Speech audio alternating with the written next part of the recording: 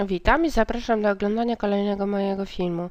Tym razem z ekonometrii chciałam Wam pokazać element e, powiedzmy weryfikacji już przygotowanego modelu. Chodzi o budowę przedziałów ufności dla parametrów strukturalnych modelu.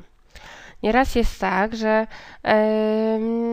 w wymaganiach jest jasno opisane, co my musimy w tej weryfikacji przeprowadzić. Jeśli mamy do zrobienia przedziały ufności dla parametrów strukturalnych modelu, no to przystępujemy do pracy. E, żeby zbudować takie przedziały ufności, musimy wiedzieć przy jakim poziomie ufności musimy je zbudować. Jeżeli nie jest to powiedziane, e, że wszystkie testy przygotowujemy przy poziomie istotności 5%, albo inaczej mówiąc, współczynnik ufności mamy przyjąć 0,95, to taki poziom jest najbezpieczniejszy. Najczęściej stosujemy po prostu ten poziom e, współczynnika ufności, który jest zadany w treści e, projektu. Jest to wszystko opisane najczęściej w wymaganiach do projektu. Tego trzeba się, pamiętajcie, trzymać. Żeby zbudować przedziały ufności dla parametrów strukturalnych modelu, będziemy potrzebowali coś takiego jak wartość krytyczna z rozkładu studenta. Ja mam już tutaj podaną wartość, ile ona wynosi, ale pytanie skąd ona się bierze. Jeżeli wiemy, że współczynnik ufności był na poziomie 0,95, czyli 95%, to oznacza, że przyjęty poziom istotności błędu, który potrzebujemy do znalezienia wartości krytycznej w tablicach, wynosi uzupełnienie, czyli 5% uzupełnienie oczywiście do jedynki, czyli do 100%.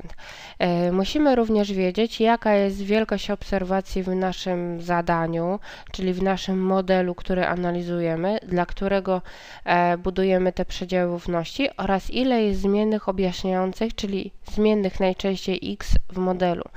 Ja tutaj założyłam, że mamy e, model, który ma 7 obserwacji i ma dwie zmienne objaśniające. W tym momencie tak zwane stopnie swobody, degree of freedom, tu akurat przeze mnie oznaczone S, czasem jest to V, R, K, różnie, to zależy od e, zapisu. U nas e, jest to zawsze n minus k minus 1, czyli po obliczeniu jest to 4. E, I teraz pytanie, skąd się wziął ten wynik właśnie u góry? 2,776. E, przełączamy się teraz na tablice statystyczne z rozkładu testudenta. Jeżeli mam szukać e, w tablicach, gdzie poziom istotności jest dla e, normalnego poziomu dwustronnego, szukam w kolumnie normalnie 5% i stopnie swobody 7, minus 2 i minus 1 wynosiło 4 a więc w wierszu, e, przepraszam, w kolumnie szukamy liczby df, degree of freedom, jak widzimy, 4 i na przecięciu wiersza czwartego, numerze czwartym i kolumny oznakowane jako 005 mamy 2,776. Jest to nasza potrzebna wartość krytyczna z rozkładu studenta. Nigdy nie szukamy z innego rozkładu, tylko studenta. A więc idąc dalej, musimy zauważyć, jak wyglądają wzory na e, właśnie szacowanie przedziału ufności, w jakim to za, może zawierać się e, nasz parametr strukturalny. Parametrem strukturalnym oznaczamy alfa 0, alfa 1, alfa 2. To są nieznane nam wartości oszacowanych parametrów strukturalnych a y, te oznaczone już z daszkiem albo małym symbolem A to są już konkretne, oszacowane już w, na etapie estymacji wartości parametrów strukturalnych. To, co tutaj mamy, S od y, alfa 0, S od alfa 1, S od alfa 2, i akurat, jak, jak mówiłam, mamy trzy, y, czy mamy dwie zmienne objaśniające, a więc mamy trzy parametry strukturalne, bo liczymy również dla alfa 0 parametry, y, czy tutaj ten przedział ufności, więc mamy trzy wzory. Każdy z nich wygląda następująco. Od parametru odejmuję krytyczną razy błąd na parametrze i e, od e, tego szacowanego parametru do niego dodaję krytyczną razy błąd na tym parametrze. Oczywiście błędy na parametrach, czyli na alfa 0, alfa 1 i alfa 2 i tak dalej otrzymujemy z macierzy wariancji kowariancji na etapie już weryfikacji modelu, tam gdzie szacujemy błędy na parametrach. To są właśnie te odchylenia standardowe na parametrach. Za każdym razem ta T alfa Oczywiście można dopisać n minus e, k, e, czy n minus k minus 1, tutaj ten zapis jest błędny, po prostu powinno być n minus e, k minus 1. To jest zawsze u nas będzie te 2,776 i trzeba raz od parametru odjąć krytyczną razy błąd, a potem tą krytyczną dodać do przymnożoną oczywiście razy błąd do tego parametru. Literka P w każdym z tych wzorów oznacza pewne prawdopodobieństwo. I ono wynosi właśnie tak jak tutaj widzimy po prawej stronie 0,95, bo tyle wynosi 1 minus alfa. I to oznacza, że e, prawdopodobieństwo tego, że w granicach od tej wartości do tej wartości parametr alfa 0 będzie zawierał się prawdopodobieństwem 95% akurat w tym zadaniu. A więc jeżeli my znamy oszacowane już parametry alfa 0 aż do alfa 2 i znamy z wcześniejszych etapów y, naszych obliczeń błędy na tych parametrach, oczywiście to są zadania mm, przykładowe, więc Wy możecie mieć zwyczajnie inne liczby, podstawiamy do tych właśnie wzorów wiedząc, że za każdym razem wartość krytyczna z rozkładu te studenta wynosi 2,776.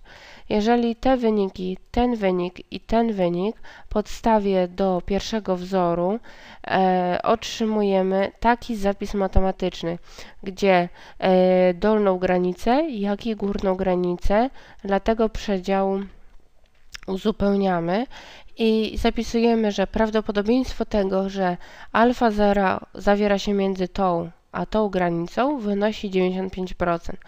E, I po przeliczeniu, oczywiście na kalkulatorze, e, ja liczę to dokładnie w Excelu, więc możecie mieć niewielkie ciut różnice. Naprawdę tym się nie przejmujcie. Filmy mają raczej charakter poglądowy. E, liczymy to samo dla parametru alfa 1, czyli wartość tego parametru, od niego odejmuję wartość krytyczną z rozkładu T studenta, przemnożoną razy ten błąd standardowy.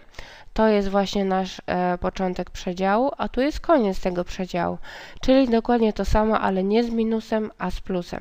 I po obliczeniu mamy wyniki w przybliżeniu wynoszące tyle, co tutaj mamy.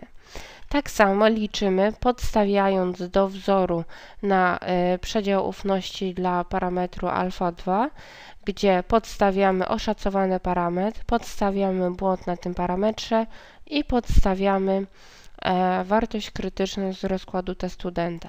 Po obliczeniu otrzymujemy przedział, e, gdzie wszystkie te trzy przedziały, które mamy, interpretujemy niemal w identyczny sposób. Możecie mieć te interpretacje na zajęciach przedstawione ciut inaczej. Oczywiście, że je interpretujecie tak, jak było to na ćwiczeniach. Moja propozycja interpretacji jest po prostu propozycją, a więc możecie mm, się sugerować, nie musicie. Czyli można powiedzieć, że na 95% wartość parametru alfa 0, czyli tego, który tutaj jest w środku, zawiera się w przedziale od do. Tak samo możemy powiedzieć, że na 95% drugi parametr, czyli alfa 1, zawiera się w przedziale od do. I oczywiście na koniec interpretacja alfa 2 taka, że na 95% wartość tego parametru zawiera się w przedziale od do. Na tym kończę omawianie przykładowego zadania. Jeśli to omówienie jest dla Was niewystarczające lub macie własną listę swoich zadań e, do opanowania, to zapraszam do nadsyłania maili wraz z załącznikami na adres mailowy zadania myślnik projekty małpawp.pl. Gdy będę miała taką możliwość, to na pewno odpiszę. Nie zostawiam maili bez odpowiedzi. Cały zakres materiału, jak i zasady współpracy ze mną są na stronie internetowej zadania myślnik projekty.pl. Kanał YouTube Plus Projekt jest tylko mojego autorstwa. Zapraszam do jego subskrybowania. Takie dodanie do listy subskrybowanych kanałów pozwoli innym studentom dowiedzieć się o jego istnieniu i możliwości korzystania z jego zasobów. Dla mnie osobiście będzie to dobra wiadomość, że filmy przeze mnie przygotowane uznajecie generalnie za przydatne i powinnam nagrywać kolejne. A pomysłów na kolejne filmy mam jeszcze wiele. Filmy możecie naturalnie oceniać. Oczywiście możecie również krytykować filmy, jeśli jest y, taka potrzeba. Możecie zadawać również konkretne pytania dotyczące odtworzonego materiału. Mile widziane są również krótkie komentarze, czy dany film się po prostu Wam podobał, czy też nie. Na pewno chętnie zapoznam się z Waszymi uwagami, gdy tylko będę miała możliwość, na nie odpowiem.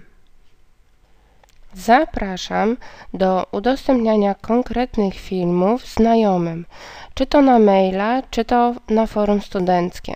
Tu jest możliwość czy kopiowania e, adresu filmu, czy bieżącego fragmentu, czy kodu do umieszczania na stronie.